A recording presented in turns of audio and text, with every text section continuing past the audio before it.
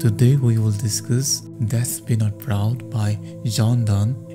It's sonnet number 10 from his series of 19 sonnets, Holy Sonnets or Divine Meditations. It's a 14 line poem and it follows the structure of the Petrarchan sonnet.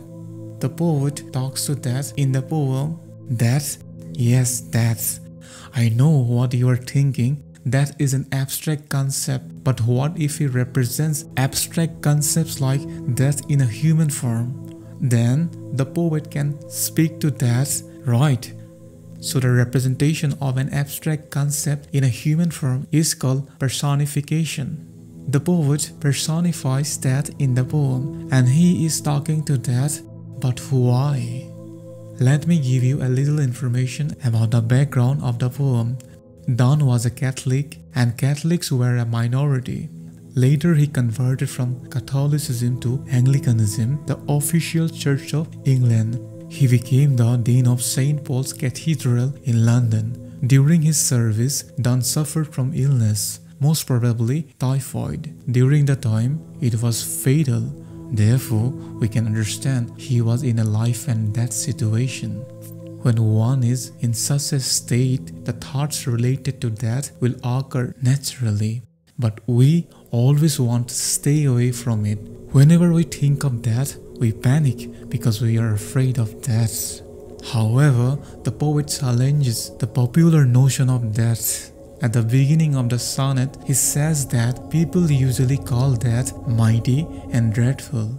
When man's end moment arrives, death neither waits nor listens to anyone. No power of the universe can stand against that. Therefore, that is powerful. That takes everything away from a person's life his loved ones, his possessions, his time, and man is helpless about it. To put it in a nutshell, that is the end of life. That brings sadness to a person's life. Thus, we call that a terrible moment in our life. Despite the common notion of death, the poet addresses death and commands him not to be proud. He says that death is neither mighty nor dreadful. Death thinks that he takes man's life from him. But in reality, men don't die. Neither man nor the poet can die. Death can't do anything to anyone. Instead of feeling scared, he feels pity for death and calls him poor death. The poet gives reasons for not being afraid of death. First, death is like having a rest and sleep. We get much pleasure from rest and sleep. He compares that to rest and sleep. If both states can give us pleasure, then that will be more pleasurable than the two states.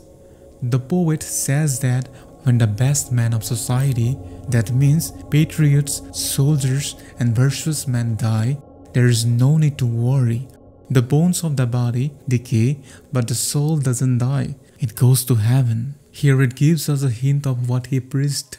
According to the Christian belief, after the demise of a human being, the soul leaves the body and goes to heaven if the person has done more virtuous acts than sins. That is the intermediate state between life and eternal life. Here I want to emphasize the statement man doesn't die.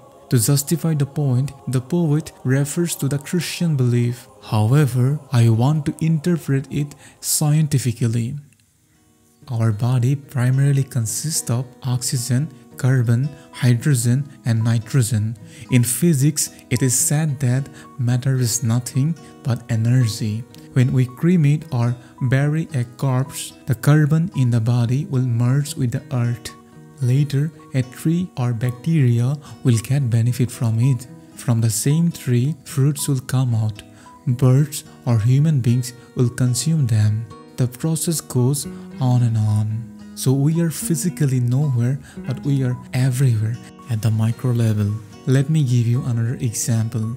If we boil water, the molecules in the water travel upward as bubbles. The same molecules in the water form a cloud and come down as rain. So in the entire process, it just changes its state.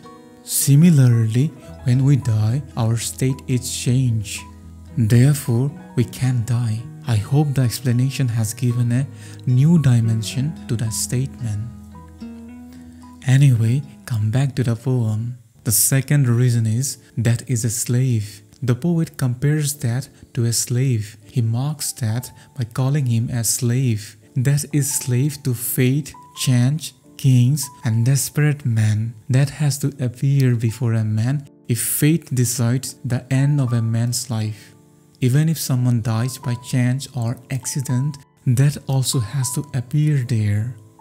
Similarly, it is the kings who can decide whom to execute or punish. So the kings decide the time of death of a person, and that has to obey the command of the kings. Even in the case of desperate men that can do nothing, desperate men probably refer to those men who choose to end their life by themselves. In all situations, that obeys man like a slave and delivers the soul. He also associates that with poison, war, and sickness. That has no will and he is powerless. Therefore, that is not the master of man's destiny. Notice how he presents a contradictory notion of death. Furthermore, the poet makes fun of death by saying that death can't even give pleasure to man. At first, he says that death can delight man more than rest and sleep. Later, he says that poppy, opium, and sermons, magic, and spells can bring better rest than death. Therefore, death should not feel proud. Though that is like sleeping, it doesn't last long. After the short sleep, we wake eternally. Thereafter, there is no death. Death will die. Here again, references to the Christian belief in eternal life and Corinthians of Paul the Apostle are clear. Saint Paul writes in the 15th chapter of the Corinthians that the last enemy to be destroyed is death. According to Saint Paul, one day Christ will return to the earth.